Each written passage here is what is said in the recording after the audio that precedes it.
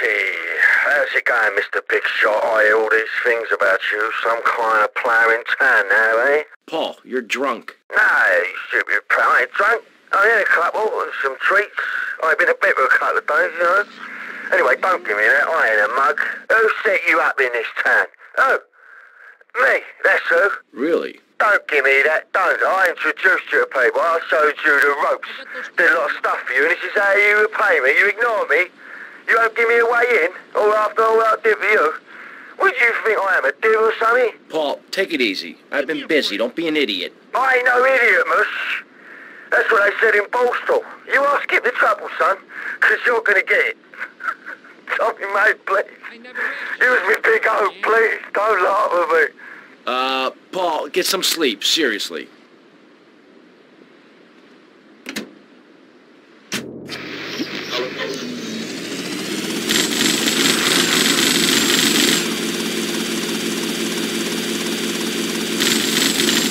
Suspect not seen in a silver helicopter. Route 10, 7, West Washington Beach.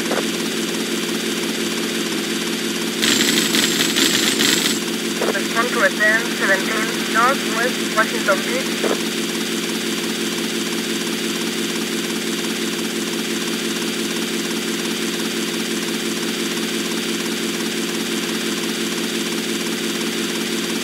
Osterglasstunden nach über Helikopter.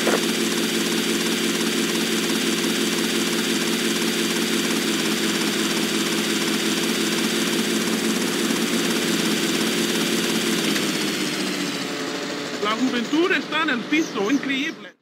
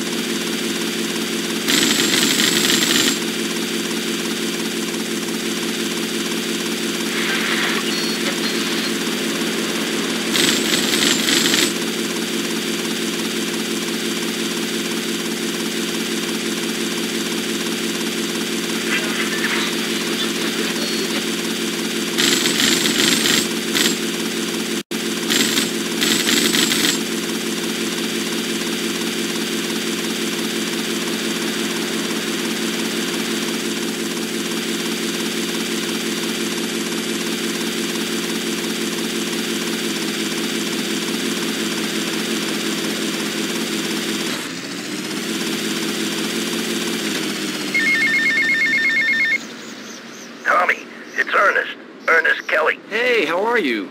I'm doing okay. I'll need a stick to walk, but I should be back at work soon enough. Good. I heard about Lance. What a little prick, huh? Yes. Never trust a man who walks the streets in his pajamas, that's what I say. Glad you killed him. I hope it was painful for the prick. I think it was. You know, I just didn't think he was like that. Tommy, for a raging lunatic, you're pretty naive. I'll be back at work soon. Teach you a thing or two about life, you hear? Take your time, Ernest. Look after yourself.